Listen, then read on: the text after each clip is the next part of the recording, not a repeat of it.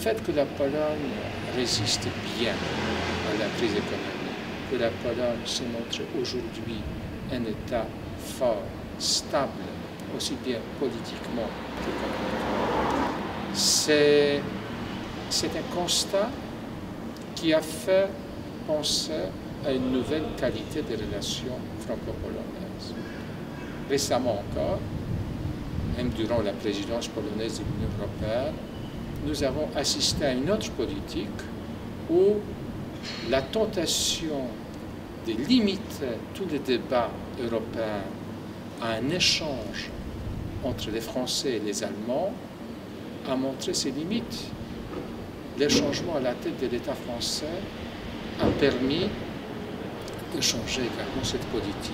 Le président François Hollande, depuis son avènement et même durant la campagne électorale qu'il a amenée à Varsovie, qui était un geste symbolique, qui est un geste qui montrait que l'Europe n'est pas uniquement la zone euro, que l'Europe n'est pas uniquement un couple franco-allemand qui est indispensable pour l'avenir de l'Europe, mais qui n'est pas l'exclusif pour penser de l'avenir de l'Europe.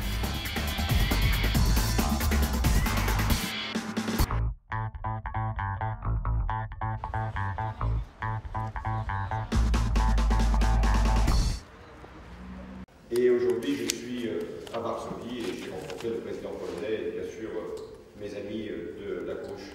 François Hollande a fait ses gestes et ces gestes aujourd'hui se transforment dans une réalité politique qui est celle de venir en Pologne, sceller une nouvelle alliance, une nouvelle étape de la coopération franco-polonaise dont le but est de renforcer l'Union européenne.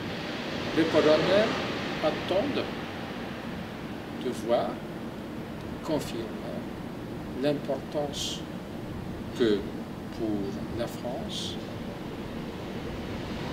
signifie la Pologne. L'importance de l'action que la Pologne peut mener avec la France pour renforcer l'Europe et pour retrouver à la fois l'optimisme, compétitivité et la solidarité qui sont les bases de notre réussite.